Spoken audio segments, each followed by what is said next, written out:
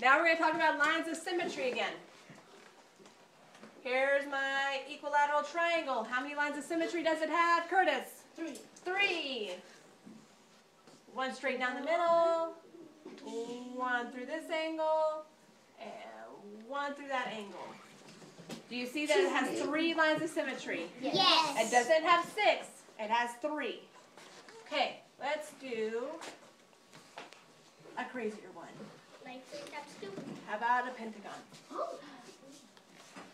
Oh yay.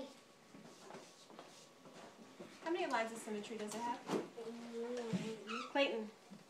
Three Three. or one. Hmm. Who thinks it has three? Who thinks it has one? Okay, let's see. Looks like one to me. Yep. Okay. What about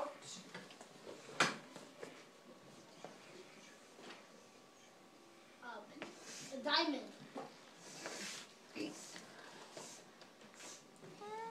okay, CJ? One.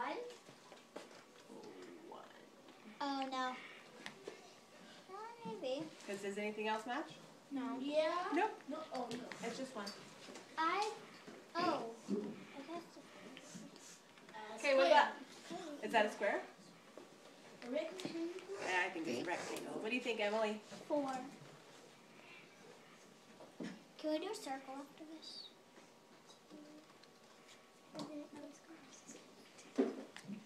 Yeah, three, four go. I don't think there's a No, it three, four. has two. It's just two. Okay. Do you agree? Yes. Can we do a circle?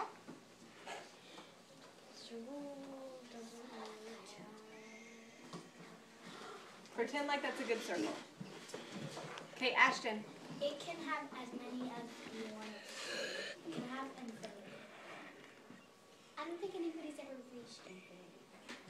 They could. They could do You it. can reach it till it's fully black. Yes. They could do it for days or years. This could go a long time, couldn't it? Yes. Yes. All right, Then you would go. Only has four. let's go. Start. Hmm. Hold on, let me erase the lines afterwards, though. Yeah, like those sides. Yeah. Okay, for some reason, when you put the lines on there, it looks like there's. It's already done. It like there's. I'm not. I'm Alright, trying to wait, get this. Lacey, One. is that it? Yes. Yes. Yeah.